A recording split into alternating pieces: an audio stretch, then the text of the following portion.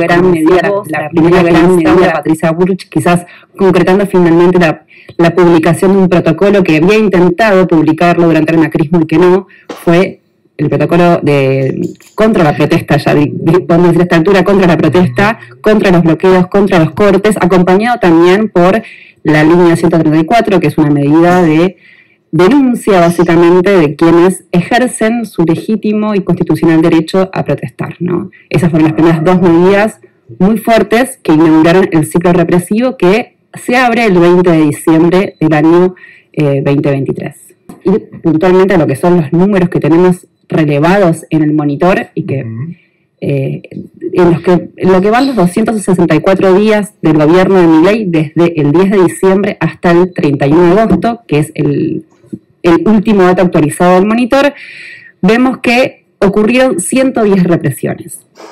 Estas 110 represiones hay que diferenciarlas en represiones a conflictos, principalmente a protestas callejeras, y allanamientos o irrupciones en tierras. Ahí lo que vemos es que la política represiva en cuanto a las organizaciones y protestas se en forma diferenciada. ¿no? Tenemos 46 represiones a protestas callejeras y por otro lado 64 allanamientos que van eh, desde el inicio del gobierno de Milay hasta el 31 de agosto, es que hubieron 140 personas detenidas, principalmente en hechos de represiones a la protesta.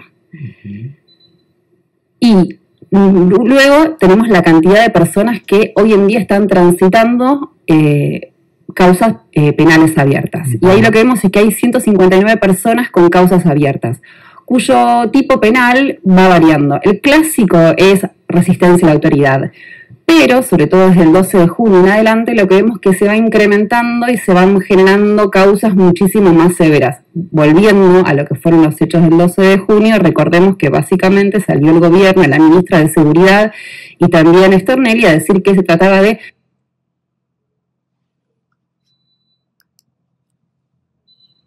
lo que se veía viendo desde el inicio del gobierno hasta el 12 de junio es que la gran mayoría de personas detenidas en las protestas en la ciudad de Buenos Aires en 48 o 24 horas eran liberadas. Hasta ese momento. A partir de ese momento, la extensión en la ciudad de Buenos Aires empieza a ser mucho más larga. Similar a los casos que habían ocurrido en la provincia de Jujuy, recordemos los dos compañeros detenidos por protestar que estuvieron 53 días detenidos. Y en los dos casos lo que se ven es un nivel de maltrato, de hostigamiento, de vejaciones, de violaciones a los derechos humanos en todo el proceso de detención, en las comisarías y también en, digamos, en prisión. Los paseos, por ejemplo, ¿no? Que íbamos a buscar a un compañero y no sabíamos dónde estaba. El maltrato, el dejar a los compañeros y las compañeras tirados en el piso, eh, esposados en una silla, lastimados. lastimados, no permitiéndoles que vayan al baño, preguntando a qué organización responden. Una política bastante clara que lo que busca es atemorizar, desmovilizar, pero bueno, a, luz de las últimas protestas universitarias, lo que vemos es que, bueno, bastante lejos estamos de estar desmovilizados, ¿no? Incluso lo que fue y lo que sigue siendo las protestas de los miércoles de jubilados, bastante lejos estamos de agarrar y decir como, por esto no, no más, no, al revés. Cada vez pareciera que esas broncas, esos disgustos, esa defensa contra los derechos que consideramos válidos sigue estando en la calle, tanto en, justamente en los más grandes y en los más pibes. Vemos como nuevamente que tanto los pibes y las pibas como los viejos, nos recordamos los 90, una, lógica bastante, bastante similar. Eh, y sí también hay que dejar de negar que con más menos protestas, con hechos más pequeños o más grandes, la, la, persistente eh, permanencia de las fuerzas de seguridad frente a protestas callejeras es eh, algo que se, se, sostiene en el tiempo, ¿no? Se corte la calle o no se corte la calle, si no se corta, la cortan las fuerzas de seguridad. Si la, cortamos, nos reprimen.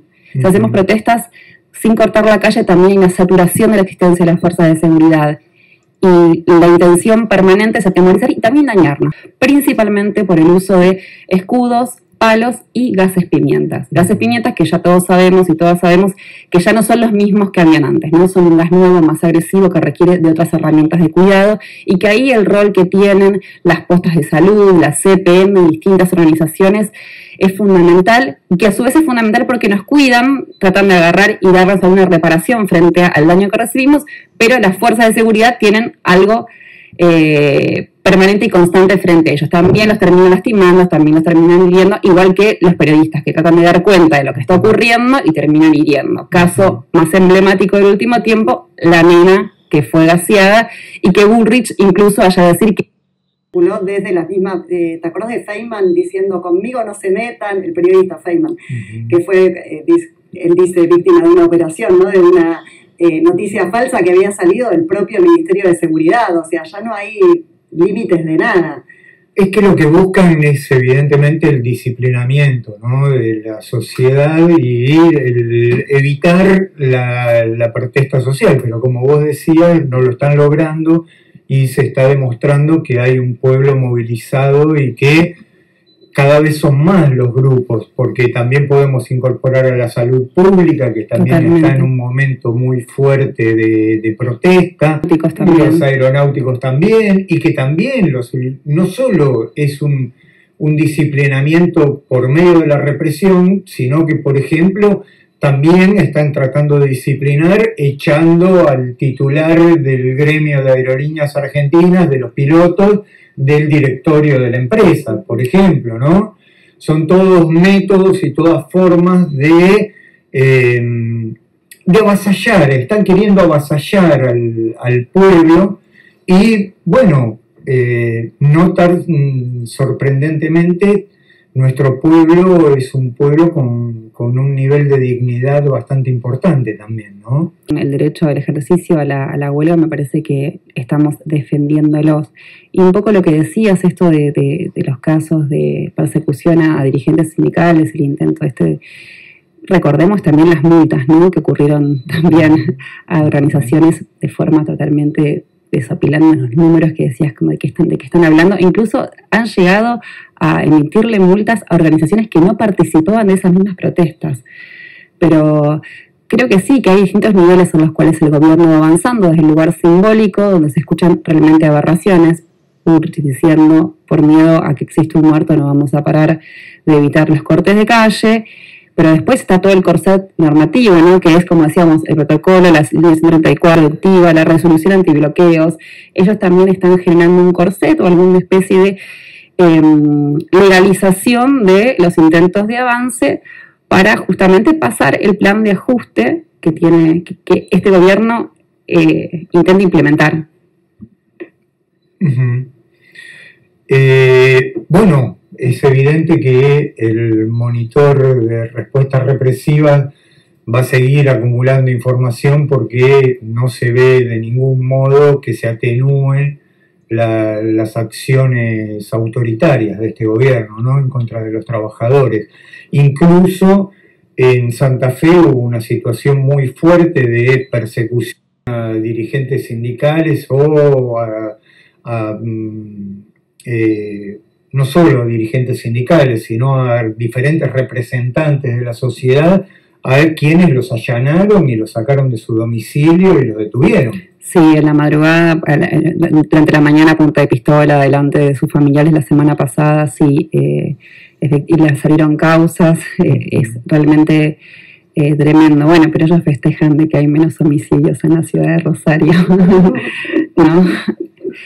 Eh, sí, fue, fue bastante llamativo lo que ocurrió, bastante triste porque nos contaban los compañeros y las compañeras que ingresaron a los domicilios buscando eh, algún tipo de remeras, banderas que, que esté vinculada con, las organizaciones sindicales que estaban... Al estilo dictadura militar genocida. Al peor estilo, sí. Eh, bueno, hoy algo de eso no es lo mismo, yo no creo que podamos decir que es lo mismo, pero sí hay, hay algo de esas tensiones, de ese tipo de, medidas que pareciera que, está, avanzando y también lo cierto hay una especie de legitimidad respecto de la irrupción de algunos sujetos referenciados con la libertad de avanza en los que fueron asambleas de estudiantes eh, durante estas semanas y una validación respecto de ese comportamiento, ¿no? irrumpir en asambleas gaseando a compañeros es, es, bastante, bastante triste y las doble varas ¿no? respecto de qué es lo que pasa cuando hay un periodista que va a provocar en la vía pública, qué es lo que pasa cuando